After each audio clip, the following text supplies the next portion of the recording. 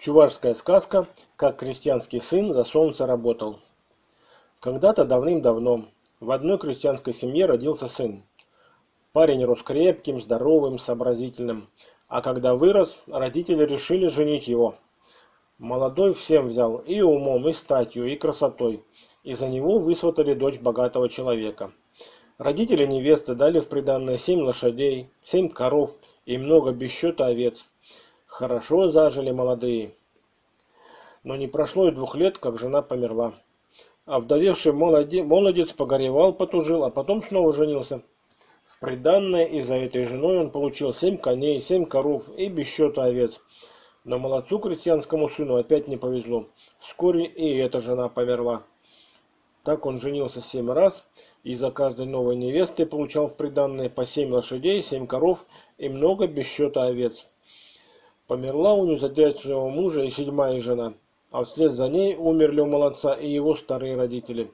Остался он хозяином целого табуна лошадей, стада коров и несметного несчитанного количества овец. Однако же счастье по-прежнему обходило его стороной.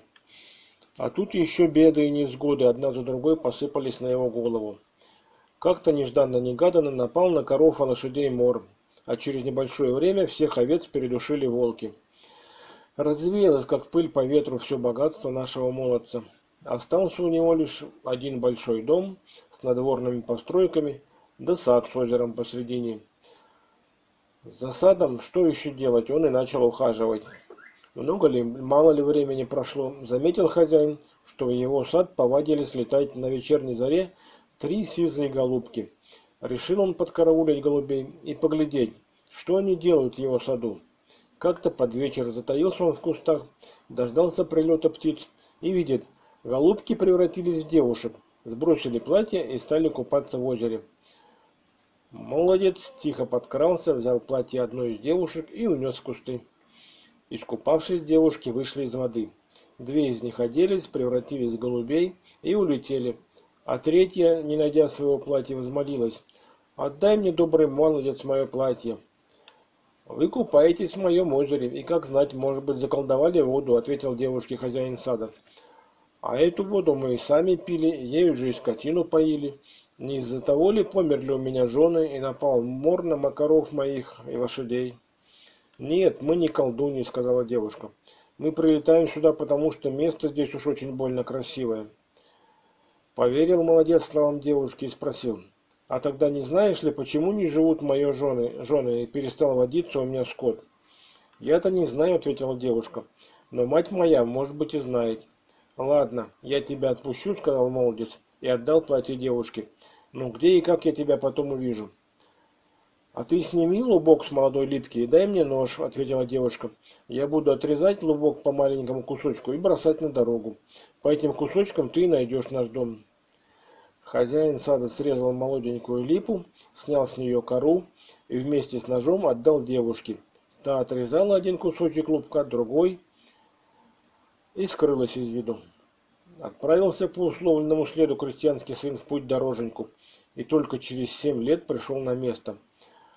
Оказалось, что девушки, прилетавшие голубками на озеро купаться, были сестрами самого солнца. И сейчас же навстречу сон молодцу вышла их старая мать. Крестьянский сын сказал старухе, зачем он пришел сюда? Та выслушала его и ответила, не знаю, не ведаю. Сынок-то солнце наверняка знает, но тебя нельзя его дожидаться. Если он явится, то может погубить тебя. Тут вмешались в разговор дочери. А давай, мама, к приходу брата спрячем этого человека. Брату же мы скажем сначала, что он к нам пришел. А если брат не рассердится, покажем его. Если же братец будет не в духе, мы выспросим у него все, что надо, а потом, когда он утром снова уйдет, перескажем нашему гостю. Так и сделали. Поздно вечером заявилось солнце, уставшее после тяжелой дневной работы. «Похоже, к нам пришел какой-то человек», — сказала солнце. «Как он осмелился? Ведь я могу сжечь его, как простую соломинку». Мать с сестрами начали уговаривать его. Зачем тебе жечь гостя? Он и так убит горем, и пришел к тебе за умом, за разумом. Но если так, смилостивое солнце, тогда готовьте поскорее еду и пригласите гостя. Мы с ним вместе отужинаем. Сестры приготовили ужин, Солнце посадило рядом с собой крестьянского сына, и они в добром застолье провели остаток вечера. Видно, чем-то глянулся солнцу добрый молодец крестьянский сын, потому что на утро оно сказала ему, «День вчера выдался тяжелый, я очень устала. Может, сегодня походишь по небу вместо меня?» Крестьянский сын согласился. «А чего же не походить? Похожу».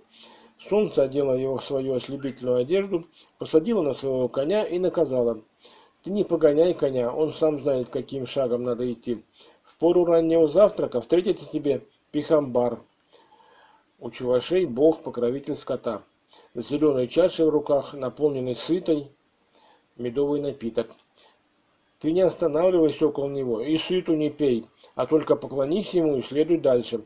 К позднему завтраку встретится тебе Пюлихсе, божество, раздающее благо, с такой же чашей в руке наполненный сытой.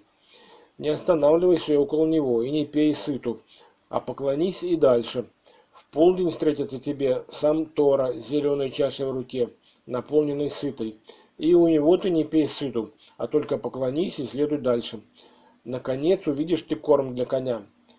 Коня хоть немного, но надо покормить, а уж потом можно пускаться в путь к дому.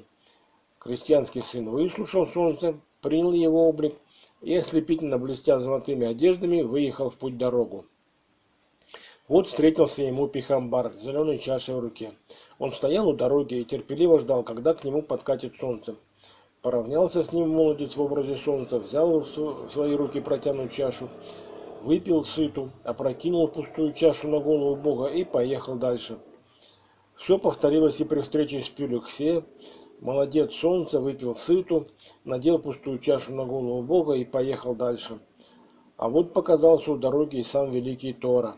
Но и с ним крестьянский сын обошелся столь же непочтительно, как и с младшими богами. Выпил сыту, а пустую чашу нахлобучил на голову Торы. Наконец встретилось место с кормом для коня. Молодец покормил коня и повернул к дому. Тора же после встречи с ним подумал, что-то случилось с солнцем. Оно позволило себе неслыханную дерзость. Тут что-то не так. Пойду-ка расспрошу Пюлексея. Но когда он начал рассказывать Пюлексея о своей встрече с солнцем, тот тоже пожаловался, что и его накрыло прокинутой чашей. Они вместе пошли к Пихамбару. Но и Пихамбар сказал, меня солнце тоже стукнуло пустой чашей по голове. После этого уже ничего не оставалось, как всем троем к солнцу пойти и потребовать от него объяснений. Крестьянский сын еще не успел окончить свой рабочий день, а солнце, ничего не подозревая, отсыпалось дома. Тора разбудил его и сказал, «Чем это мы тебя прогневали, если ты нынче каждого из нас стукнул чашей по голове?» Солнце со не сразу сообразило, о чем идет речь, потом ответило, Вчера у меня был трудный день. Я очень устала и попросила походить за меня своего гостя. Но я не наказывала ему делать что-нибудь плохое. Пока они так разговаривали, вернулся верхом на солнечном коне крестьянский сын. И только он успел показаться, боги начали выговаривать ему за его неслыханную дерзость. Пихамбара следовало бы стукнуть посильнее за то, что он не останавливал своих собак. «Волки всех моих овец передушили», — услышала я в ответ. «Хорошо», — сказала Пелюксе. «А меня за что ты чашей накрыл?» «Неужто не понимаешь?» — ответил крестьянский сын. «За то, что не написал мне на роду прожить век с одной женой. Я семь раз женился, и ни одной жены не осталось живых. Разве это дело?» «Понятно», — подал голос Тора. «Но со мной-то, со мной как ты посмел так обойти? Чем я тебе не угодил?» «А тем, что не предназначил мне счастливую жизнь. Родители мои жили как люди, а меня ты осудил на то, чтобы век свой горе мыкать. Слушают боги крестьянского сына, а что возразить на его слова не знают, ведь все, что он говорит, сущая правда. Стали они между собой советоваться, стали думать, чем заняться добру молодцу, чтобы он поскорее разбогател и зажил счастливо. Тора сказал, пусть он займется воровством, самый верный и короткий путь к богатству. Пихамбар и Пелюсхе согласились с Торой, пусть крестьянский сын ворует. А тот, услышав решение богов, вышел из чертогов солнца, увидел оседланного коня Торы, мигом снял с него серебряное седло, да и был таков. Вышедший след за молодцем Тора сразу же обнаружил пропажу. Что за чудеса? Было седло и нет седла, возмутился Тора. И у кого украли? У самого главного бога. Не иначе это дело рук мошенника, который за солнце работал. Давайте нагоним его и отнимем седло. Догнали боги доброго молодца, спросили, ты зачем дерзкий украл у самого Торы седло? Так ведь Тора сам определил, чтобы я жил воровством. Очень просто ответил крестьянский сын. Я и подумал, если Тора не рассердится за пробажу и не будет искать ее, то не будет на меня сердиться и люди. Поэтому я и решил украсть сперва у Торы. Как же людям не сердиться на вора, не выдержал Тора. Каждому жаль своего добра. А если так, зачем же вы направили меня на путь воровства? Вполне резонно возразил молодец. Опять крестьянский сын поставил богов в тупик. Думали они, думали, как им от него отделаться. И вот что предложил Пелюксе. У одного царя есть дочь-красавица, но она от рождения слепа. А в том же царстве государстве есть такая местность, где даже по берегам реки не растет трава. Мы сделаем, что нам стоит, так что в той местности начнет расти трава. Мы сделаем, чтобы на выросшую траву три утра подряд выпадала роса. И пусть слепую царевну эти три утра водят на траву, собирают, собирают с нее в чашу росу, и той росой обмывают ее глаза. Тогда царевна прозреет, и царь выдаст ее за нашего маломолодца. Молодец сразу станет богатым и счастливым. Так бы и сказал давно, проворчал Тора. А то ломаем голову, как да что.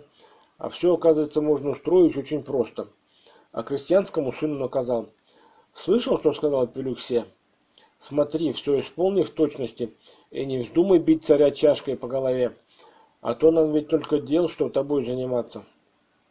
Напутствуемый богами, крестьянский сын отправился в тридесятое царство, в котором жила слепая царевна.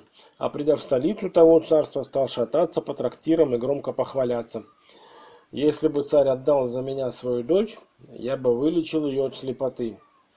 За такую похвальбу, за то, что он лишний раз напоминал о горе царской семьи, стражники схватили молодца и на всякий случай посадили в кутузку. Однако молва о том, что выискался человек, который может вылечить царевну от слепоты, дошла до царского дворца. Царь вызвал молодца к себе и спросил, «Правду ли говорят, что ты похвалялся вылечить мою дочь?» «Если отдашь ее за меня замуж, то вылечу», — ответил крестьянский сын. «Только бы вылечил, отдам», — пообещал царь. Крестьянский сын вместе с царевной отправился на берег той реки, где не росла трава. Следом за ним туда пришло множество народу чтобы увидеть чудесное исцеление царской дочери от слепоты. Когда молодец с царевной пришли к реке, на ее берегах не было видно ни одной травинки. Но вот берега начали прорастать густой травой, а к вечеру сплошь покрылись зеленью. А к утру упала сильная роса. Росу собрали в чашу и отмыли ею глаза царевне. Царевна сказала, что начинает видеть. А между тем трава поднималась все выше и гуще. На другое утро роса выпала еще обильнее. Ее снова собрали в чашу и опять омыли глаза царской дочери. Царевна почти совсем прозрела, стала веселой и радостной, а трава все растет и растет. На третье утро роса пала уж и совсем небывалая. Ее опять собрали и опять дали умыться царевне. Совсем выздоровела девушка и стала еще краше, чем была. Вернулся крестьянский сын вместе с невестой в царский дворец. Царь спрашивает у дочери, видят ли теперь глаза твои? Когда мы подходили к городу, я за 17 верст увидела тебя на балконе, ответила дочь. Отец не поверил. Он вышел с дочерью на подворье, нарочно уронил среди щепок и сенной трухи иголку и принялся ее искать. Дочь спросила, что ищешь, отец? Иголку обронил, и вот никак не найду, сказал царь. «Да вон же она лежит», — сказала дочь, еще издали, увидев иголку. Она тут же подняла ее и протянула отцу. «Это?» Отцу ничего не оставалось, как ответить. «Это самое». Царь сдержал свое слово, выдал прозревшую дочь за крестьянского сына и закатил пир на весь мир. А после своей смерти оставил царство своему зятю. Рассказывали, хорошо провел царством государством крестьянский сын, оно и понятно. Уж если он мог за солнце работать, то за царя-то и подавно.